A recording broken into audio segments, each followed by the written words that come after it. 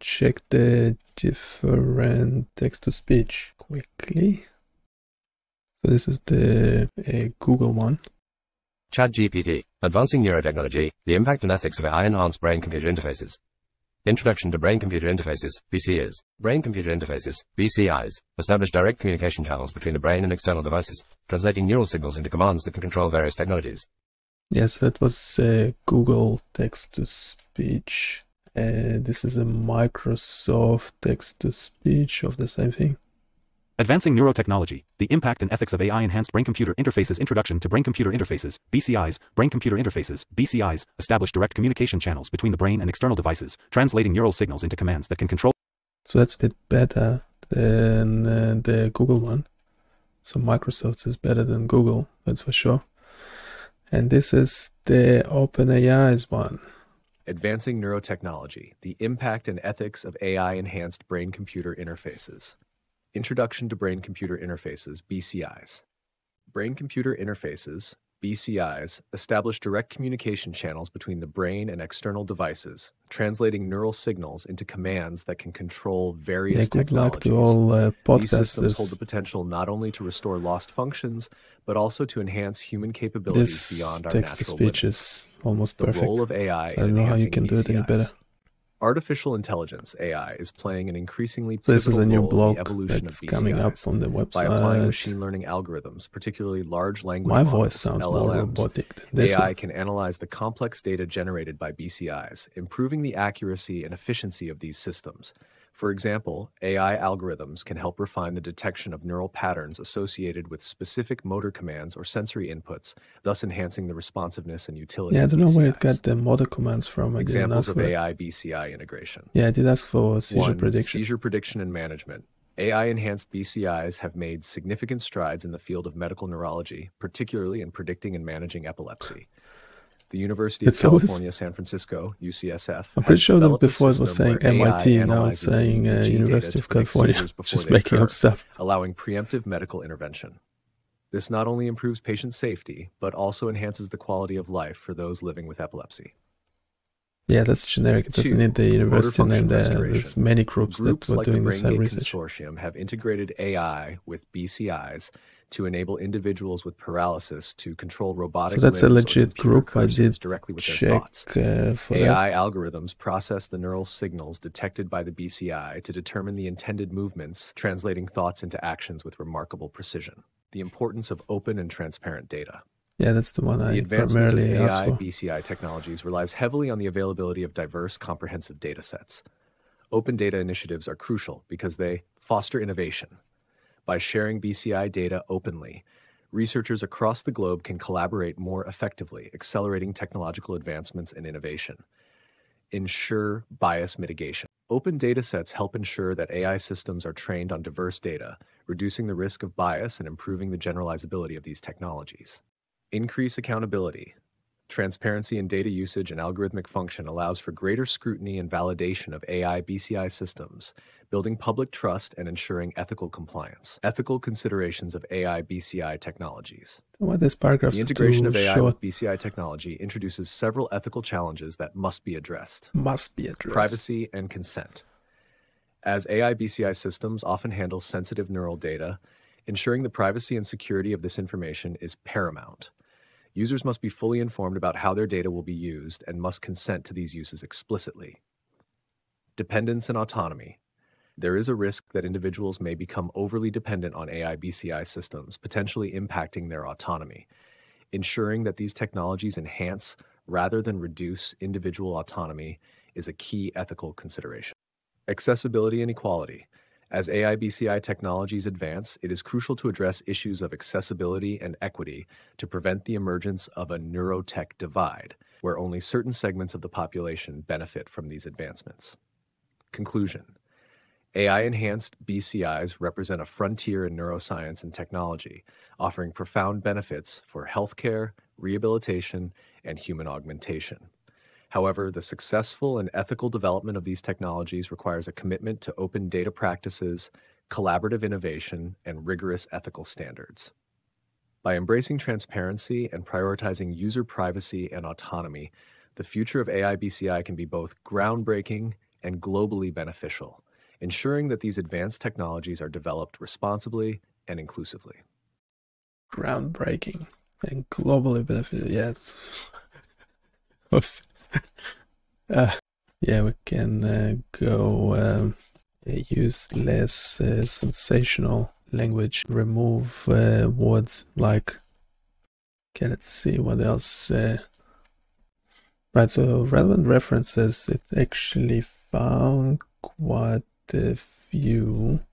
The BrainGate could have. Why did use the. Yeah, it's a bit. Uh, writing text is a bit like writing code, isn't it? Yeah, it's fine when it's uh, searching for references, it's giving you different ones. Advancements in artificial intelligence, AI, have significantly boosted the capabilities of brain computer interfaces, BCIs, particularly in the area of medical applications such as seizure prediction and detection. Researchers have been exploring various machine learning techniques to enhance the accuracy and effectiveness of seizure prediction systems by analyzing EEG electroencephalogram data. For instance, AI enhanced BCIs use advanced algorithms like stacked autoencoders, which are capable of feature extraction from large amounts of unlabeled EEG data. This technique enables the system to bypass the time consuming and labor intensive process of manually engineering features for each patient. Such approaches not only streamline data processing, but also adapt to the unique neurological patterns of individual patients, thus improving the predictive accuracy of seizure events 37 source. Moreover, cloud computing plays a crucial role in the scalability and accessibility of these AI BCI systems.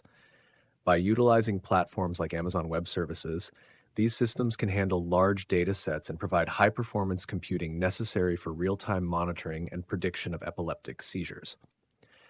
This setup allows for extensive data storage and rapid processing, which are essential for the real time application of BCIs in clinical settings 37 source. Open and transparent data sharing is another critical aspect of furthering research in this field. Initiatives that encourage the open sharing of EEG data and research findings enable a broader base of researchers to collaborate and innovate. This openness not only accelerates the pace of technological advancement, but also helps in addressing potential biases in AI models by ensuring they are trained on diverse data sets. Open data projects contribute to more generalized and robust AI systems, which are crucial for applications in heterogeneous populations 36 source. These developments underline the importance of integrating AI with BCIs to create more effective, responsive, and adaptable medical tools.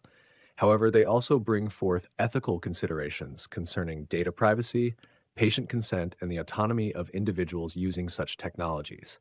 Ensuring that these technologies are developed and deployed transparently and ethically will be key to maximizing their potential while safeguarding user rights.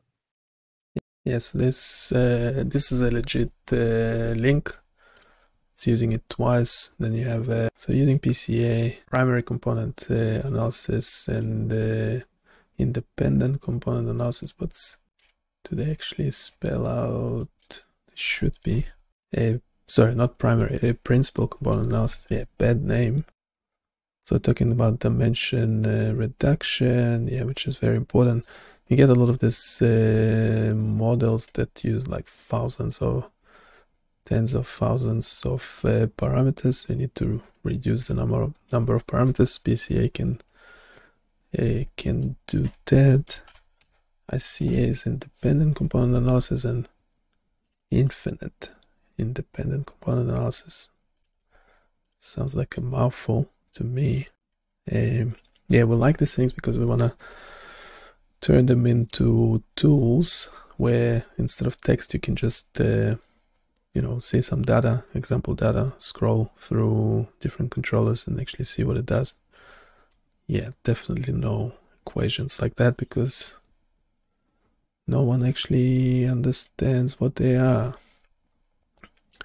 The encoder from the autoencoders have been used to extract features. Yeah, I don't know why. It's just the same images there. It's not a great image, is it? What it is? Little things and then encoder 1 it looks exactly like encoder 2 looks exactly like this softmax thing which I don't even know what it is input. So you have some. That's actually quite um, useful stuff like that, uh, because I'm pretty sure any LLM, uh, GPT-4, whatever, can generate decent code out of this pseudo pseudocode. So that's quite uh, handy. Now this image here, this is a comparison of interictal baseline iEEG segment on top, which does look okay. Could have been shifted, uh, normally shifted around zero. Um, you know, normally do like uh, a DC out of it. That looks legit. And then the pre-ictal before seizure iEEG intracranial EEG segment on the bottom. Like the, there is no way this is any EEG. It's not pre-ictal. It's not nothing. This is it's that time. The samples looks like samples to me. It's the sampling rate. I don't know. Anyway, it could ever be. Doesn't really matter. It could be 50 hertz. It could be also like impedance measurement uh, artifact um, but it's definitely not uh, physiological. Even though you have stuff like that, a little uh, DC shift there, but it's not physiological. It's an artifact, so there's no chance that's correct. Results: American Epilepsy of uh, Epilepsy Society proof of concept prototype. Yeah, this definitely proof of concept. Now the title uses the word big data, big EEG data they're using this uh, word anywhere else in the um, in the article. Yeah, they use it 21 times. I suggest this is big data set. Now the confusion matrix, the performance essentially of the algorithm. Yeah, the diagonal elements use uh, show the correct decisions. So these are correct uh, decisions there. 56, 57. They had uh, 60 essentially interictal samples and 60 preictal. It's like there's no way in the world this should be called a big uh, data set. It's not even um, medium. It's not even small. It's like it's like extra small. Yeah, I don't know why they jump into. Um, let's read this quickly. The confusion matrix of the proposed method is shown in table I. To evaluate the classification ability of the proposed unsupervised feature extraction, the EEG feature sets are used for classification by other methods listed in table 2. The extracted features are based on fast Fourier transform, general energy average, and energy STDV over time for each channel, power spectral density correlation coefficients, partial directed coherence of the coefficients, power in band, low gamma phase sync, and log of energy in different frequency bands for each channel, 28. Experimental results in table 2 show that the proposed deep learning method outperforms previous methods for the EEG seizure prediction task. The feasibility of using cloud computing is analyzed by the network latency offered by Amazon EC2 cloud servers. The round trip time, RTT, for servers located at different geographical locations, Virginia, Oregon, Singapore, and Ireland, is calculated for 64 BEEG segments at 10 days using the ping command. The shortest RTT is 15 milliseconds for Virginia server, and the longest RTT is 97 milliseconds for Oregon server. Okay, yeah, uh, using the ping command. Yeah, we discovered the ping command. Great. Um, okay valid classification. Well, first, uh, I'm pretty sure I've seen other papers that use the random forest, linear SVM, nonlinear SVM, other neural networks and achieved much higher accuracy. So I don't know where they got uh, got them so low. So they, you know, selected a few studies uh, and said how theirs is uh, much uh, higher accuracy. Yeah, you really need to so that's false positive rate, false uh, negative rate. Great. It's pretty small, but um, yeah, I suspect the choice of the other studies or algorithms is uh, not great. Yeah, those are all legit uh, feature Fourier transform. So we have Fourier transform on our website. Go check it out we have it probably in couple couple of places well any any time series converting to frequency a domain would be using a, Fourier transform.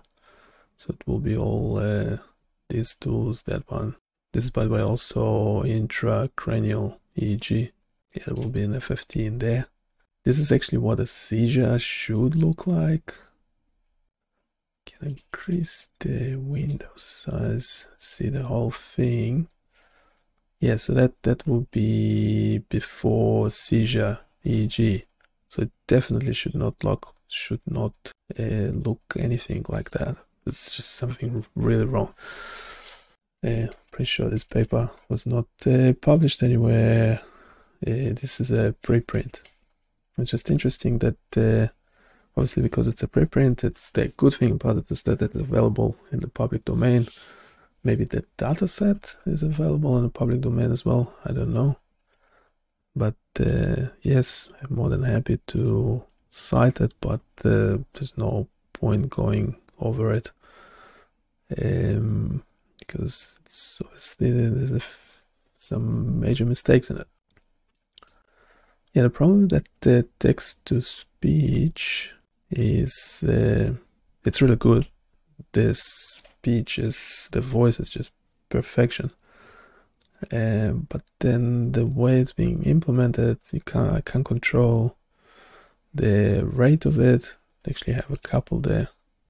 Is speech, yes, obviously there will be adding more controls there later. It should have, um, you know, rate of uh, speech, you know, speed, um, and other things.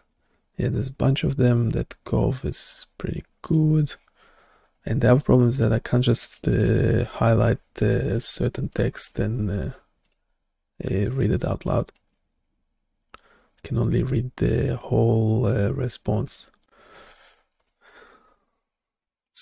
And these are keywords. Here are some keywords that encapsulate the themes and subjects we've discussed in this conversation.